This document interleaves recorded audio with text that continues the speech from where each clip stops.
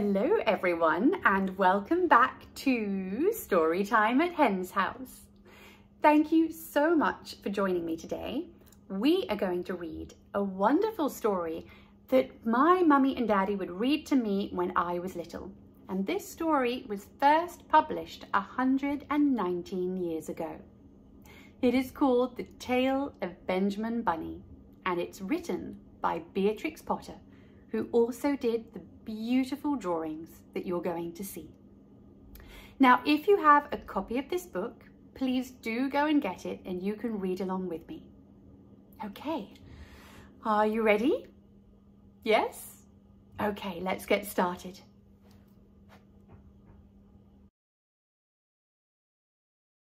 One morning, a little rabbit sat on a bank he pricked his ears and listened to the trit-trot, trit-trot of a pony. A gig was coming along the road. It was driven by Mr. McGregor, and beside him sat Mrs. McGregor in her best bonnet. As soon as they had passed, little Benjamin Bunny slid down into the road and set off with a hop, a skip and a jump to call upon his relations who lived in the wood at the back of Mr. McGregor's garden. That wood was full of rabbit holes, and in the neatest, sandiest hole of all lived Benjamin's aunt and his cousins, Flopsy, Mopsy, Cottontail, and Peter. Old Mrs. Rabbit was a widow. She earned her living by knitting rabbit wool mittens and muffetees I once bought a pair at a bazaar.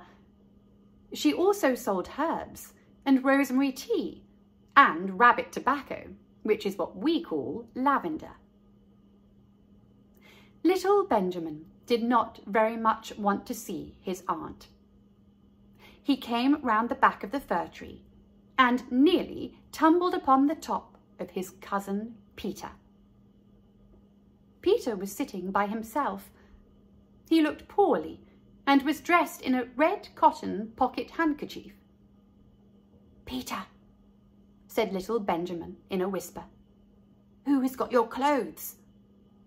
Peter replied, the scarecrow in Mr. McGregor's garden, and described how he had been chased about the garden and had dropped his shoes and coat. Little Benjamin sat down beside his cousin and assured him that McGregor had gone out in a gig, and Mrs. McGregor also.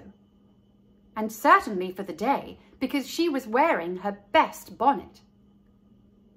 Peter said he hoped it would rain. At this point, old Mrs. Rabbit's voice was heard inside the rabbit hole, calling, Cottontail! Cottontail, fetch some more camomile! Peter said he thought he might feel better if he went for a walk. They went away hand in hand and got upon the flat top of the wall at the bottom of the wood. From here, they looked down into Mr. McGregor's garden. Peter's coat and shoes were plainly to be seen upon the scarecrow, topped with an old tam o' shanter of Mr. McGregor's. Little Benjamin said, It spoils people's clothes to squeeze under a gate. The proper way to get in is to climb down a pear tree. Peter fell down head first, but it was of no consequence, as the bed below was newly raked and quite soft. It had been sown with lettuces. They left a great many odd little footmarks all over the bed, especially little Benjamin, who was wearing clogs.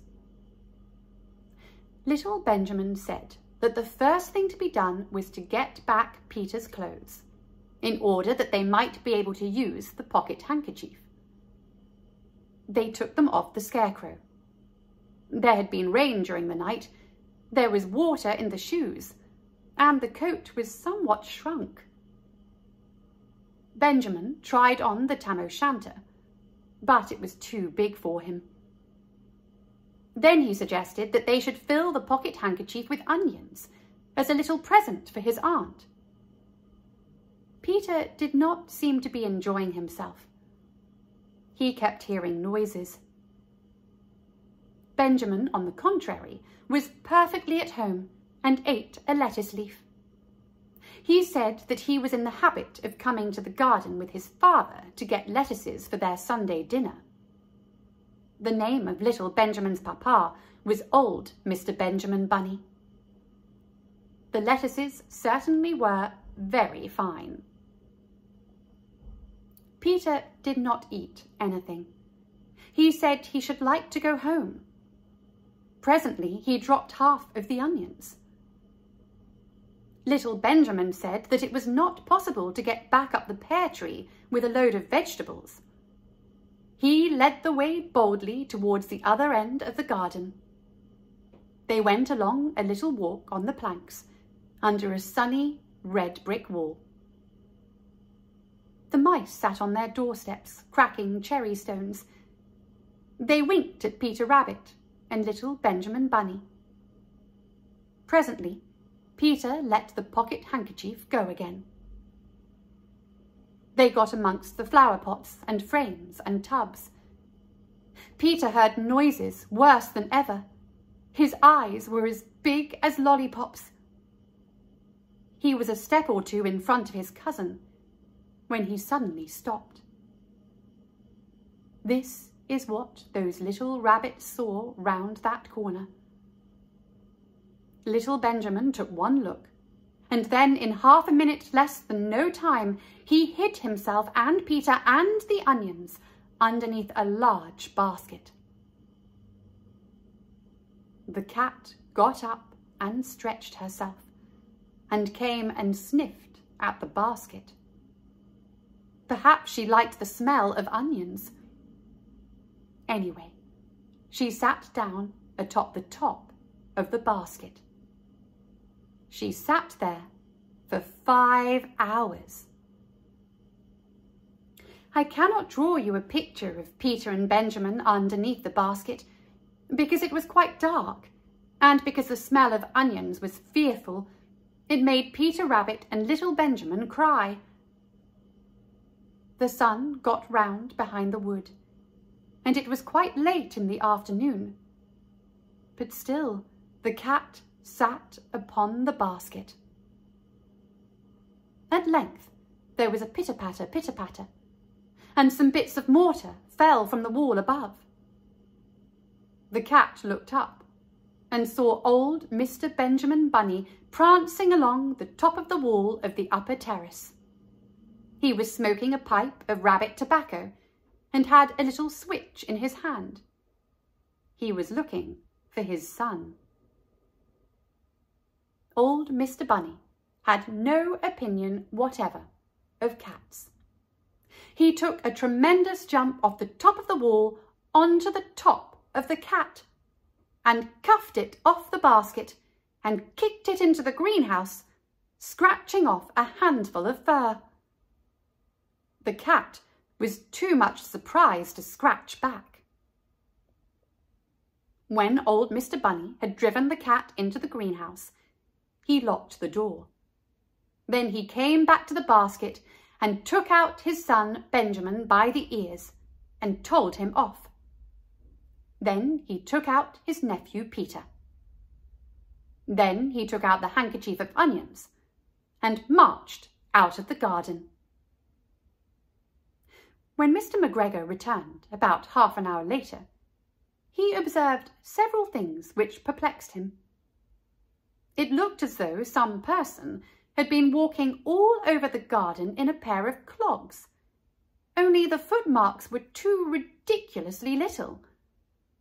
Also, he could not understand how the cat could have managed to shut herself up inside the greenhouse, locking the door upon the outside. When Peter got home, his mother forgave him because she was so glad to see that he had found his shoes and coat. Cottontail and Peter folded up the pocket handkerchief, and old Mrs. Rabbit strung up the onions and hung them from the kitchen ceiling with the bunches of herbs and the rabbit tobacco. The end. Thank you so much for joining me today, and I will see you soon. Bye!